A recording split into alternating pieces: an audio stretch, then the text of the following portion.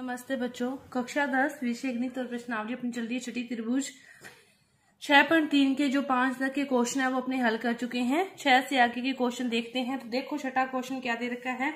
अपने को दे रखा है कि आकृति में यदि ए बी ई सर्वांगसम है त्रिभुज ए सी डी के तो हमें क्या दर्शाना है कि ए डी ई समरूप है ए बी सी के। ये इसके समरूप है। बाद में हमें ये दर्शाना है।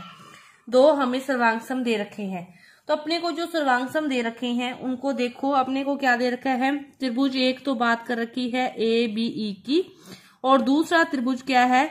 ए सी डी दोनों सर्वांगसम है।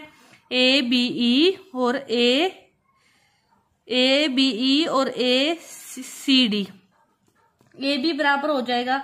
ए सी के, क्योंकि सर्वांगसम त्रिभुजों की संगत भुजाएँ क्या होती है? बराबर होती है। यहाँ पे ये लाइन लिखोगे।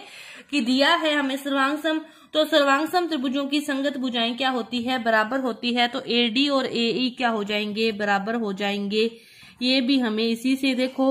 ए बी ए बी ई ए ई यहाँ से आ गया। ए सी डी ए डी यहाँ से आ गया। तो ये दोनों भी क्या होंगे? बराबर हो जाएँगे। ठीक है, ये हमें दिया गया है। अब देखो, जो त्रिभुज प्रूव करने हैं उनको लो।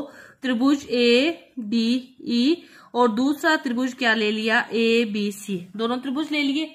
अब देखो इन त्रिभुजों में, समीकरण एक व दो से। दो त्रिभुज ए डी ई ये वाला हो गया ए डी बराबर ए ई है। ठीक है, यहाँ से। और ए बी सी में ए बी बराबर बी सी है। तो इनका जो अनुपात होगा, फिर ए डी अपोन में ए बी का और ए ई अपोन में ए सी का। समीकरण एक व दो से दोनों का अनुपात बराबर होगा। ठीक है?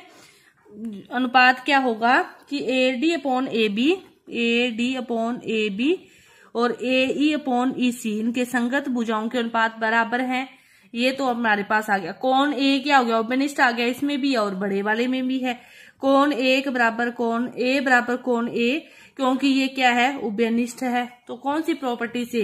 एस ए एस प्रॉपर्टी से। ये दोनों क्या हो गए? समरूप हो गए। यही हमें क्या करना था? प्रूव करना था। और ये हमारे पास प्रूव हो गया। इसके बाद देखो अपने क्वेश्चन नंबर क्या है? सातवां। देखो सातवां क्वेश्चन हमें क्या दे रखा है? आकृति दे रखी है। इसमें अपने को अलग अलग जो भाग प्रूव करने हैं लेकर कि वो समरूप है या नहीं है। तो सबसे पहले हमें क्या दर्शाना है? वो वाला देख लो। सबसे पहले जिसको दर्शाना है, अपने उसी को बना लेते हैं। अपने को जो दर्शाना है वो क्या है? ए ई पी और सी डी पी मतलब इस इस एरिए को और इस एरिए को हमें बताना है कि ये क्या है, समरूप है या नहीं है। दोनों एरिए ले लिए। अब ये दोनों एरिए लेने के बाद ये वाला कौन तो क्या हो जाएगा? दो तिरक रेखाएँ एक दूसरे को काट रही है। तो कौन पी और ये वाला कौन पी तो क्या हो जाएगा? शीशा विमुख कौन हो जाएगा। ये तो क्या हो जाएगा? शीशा विमुख कौन हो जाएगा। और ये वाला जो कौन है, ये क्या है?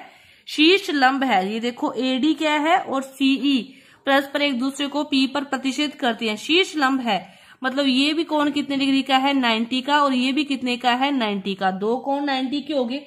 तो दो कोण बराबर होते ही तीसरा कोण क्या हो जाता है? अपने आप बराबर हो जाता है। तो देखो कैसे लिखेंगे। त्रिभुज ले लिया। ए ई पी और दूसरा त्रिभुज है सी डी पी इसमें ए पी ई कोण और डी पी सी कोण। कोण ए पी ई बराबर होगा कोण डीपीसी के, क्योंकि ये कौन सा कोण है? ये शीशाभिमुख कोण है। ये कौन सा कोण है? ये शीशाभिमुख कोण है, और जो कोण डी और कोण ई मतलब पी पीडीसी और पीईए कोण पीडीसी इक्वल है कोण पीईए दोनों कोण कितने डिग्री के हैं? 90 डिग्री के। दो कोण बराबर होते ही तीसरा कोण क्या होगा? फिर अपने आप बराबर होगा तो बाई एंगल एंगल प्रॉपर्टी से ही अपने कह सकते हैं कि जो ए ई पी है, वो सर्वांगसम होगा सी समरूप होगा सॉरी सी डी पी के। सारे इसी तरह देखते जाना है। अब देखो दूसरा। क्या है दूसरा?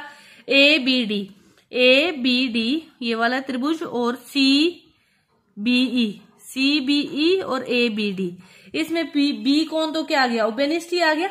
बी कौन तो क्या आ गया? ओबेनिस्टी आ गया। ध्यान से देखो कौन कौन सा भाग है अपने यहाँ पे दोबारा बनाते हैं फिर आपको समझ में आ जाएगा ये वाली चीज़ क्या की हमने दोबारा बना ली। ए डी ये सी ई ये है ई e, नाइन्टी डिग्री ये है डी ए बी सी। कौन सा है? A B D A B D ये वाला हो गया।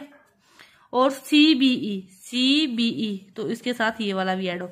तो बी तो क्या गया? दोनों में आ रहा है ना? दूसरा ध्यान से समझो मैं समझा ही रही हूँ लिखना खुद नहीं है। कि जो कौन बी है, दोनों में आ गया वो बेनिस्ट हो गया। अब इसकी बात एक तो है सी बी ई सी बी ई और ए डी डी और ई e कौन? दोनों में 90 डिग्री बराबर हैं। दो कौन बराबर होते ही बाय एंगल एंगल प्रॉपर्टी से ये क्या होंगे? समरूप होंगे। हो गया दूसरा क्वेश्चन अब तीसरा देखो। ए ई पी ये वाला है भुजा पी ए ई पी और A D B A E P मतलब ये छोटा और ये वाला। ये एक तो पूरा ए डी वी ये वाला पूरा, और ये छोटा। इसमें देखो कौन ए तो इसमें भी बेनिस्ट है। कौन ए तो इसमें भी बेनिस्ट है। ई e और डी इसमें भी नाइन्टी है। बस एक नाइन्टी है, एक बेनिस्ट है। फिर वही बात बाई एंगल एंगल प्रॉपर्टी से। ये भी क्या होगा? समरूप होगा। अब देखो लास्ट पीडीसी पीडीसी और सी पीडीसी और बीईसी पीडीसी और बीईसी वही बात सी यूबेनिस्ट है। पीडीसी में भी है बीईसी में ही है। डी और ई e कितना है? 90 डिग्री है। दो इसमें बराबर है। तो ये भी क्या होगा? समरूप होगा। ये भी क्या होगा? अपने पास समरूप होगा। यही हमें प्रूव करना था। इसके बाद देखो आठवां क्वेश्चन क्या दे रखा है आठवां क्वेश्चन कि समांतर चतुर्भुज ए बी सी डी की बढ़ाई गई भुजा। अब देखो, यहाँ से ध्यान से समांतर चतुर्भुज है ये अपने पास। कोई भी समांतर चतुर्भुज है? ए बी सी डी इसमें बढ़ाई गई भुजा ए डी पर ए डी पर ई एक बिंदु है। जो बढ़ाई गई भुजा है, वो क्या है? ए डी पर कोई बिंदु है ई और सी डी को सी डी को वो एफ़ पर प्रतिषेध करती है। ठीक है? अब अपने को क्या प्रूव करना है कि ए बी ई समरूप है सी एफ़ बी के सी एफ़ बी के। मतलब ये वाला जो पोर्शन है, वो इसके समरूप है या नहीं है, ये हमें दर्शाना है। तो देखो, ये क्या है? समांतर चतुर्भुज है। तो समांतर चतुर्भुज के समूह कौन क्या होते हैं? बराबर होते हैं। तो दोनों त्रिभुजों की बात करें, अपने पास त्रिभुज क्या है? ए बी ई हो गया और दूसरा त्रिभुज हो गया सी एफ़ बी दोनों त्रिभुज हो गए ए बी ई और सी एफ़ बी तो इसमें ए और सी कौन तो क्या होंगे? बराबर होंगे, क्योंकि यहाँ पे लिखोगे कि समांतर चतुर्भुज के समूह कौन क्या होते हैं? बराबर होते हैं।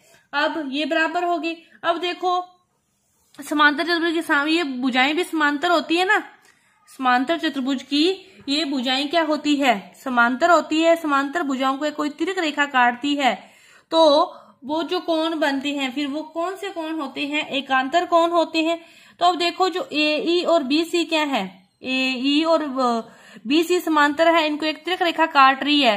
तो ये वाला कौन और ये वाला कौन क्या होगा? बराबर होगा ए E F A E B भी कह सकते हो। ए ई बी कौन होगा? वो ई बी सी कौन के क्या होगा? बराबर होगा या सी बी एफ़ कौन के क्या होगा? बराबर होगा एकांतर कौन से? तो आप क्या लिखोगे कि जो कौन है ए ई बी बराबर है कौन सी बी एफ़ के क्योंकि ये कौन से कौन है? एकांतर कौन है?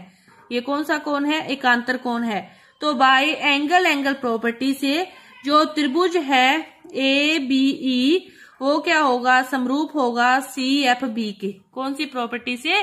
बाय एंगल एंगल प्रॉपर्टी से। क्योंकि दो कोण बराबर होते ही तीसरा कोण फिर क्या हो जाता है? अपने आप ही बराबर हो जाता है। तो अपना ये जो आठ तक के जो क्वेश्चन है पूरे हुए, नौ से जो आगे के जो क्वेश्चन है, वो अपने अगली वीडियो में करेंगे। धन्यवाद।